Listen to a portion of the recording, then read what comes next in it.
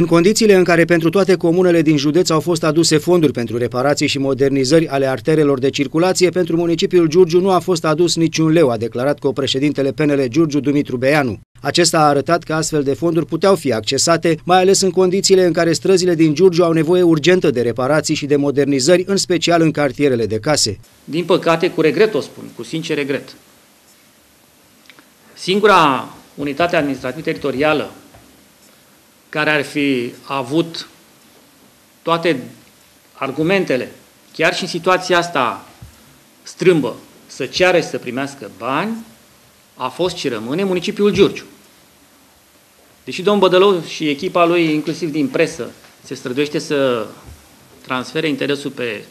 orice alte teme de campanie, eu în continuare cer la fiecare conferință de presă și domnului Bădălău și domnului Barbu să-mi spună un argument pentru care din 500 de milioane de euro, municipiul Giurgiu n-a primit în 3 ani niciun leuț pentru străzi din cartierul Ramadan, din cartierul Bălănoaia, șoseaua de centură, orice investiții în infrastructură pe care giurgiuvenii le cer și pe care acești onorabili domni le-au tot promis. Despre infrastructura din municipiul Giurgiu, Dumitru Beanu a menționat faptul că proiectele echipei PNL vizează accesarea de fonduri europene și nu numai, cât mai urgent. Liderul PNL Giurgiu spune că există axe de finanțare prin care pot fi obținute sume importante pentru modernizarea tuturor străzilor.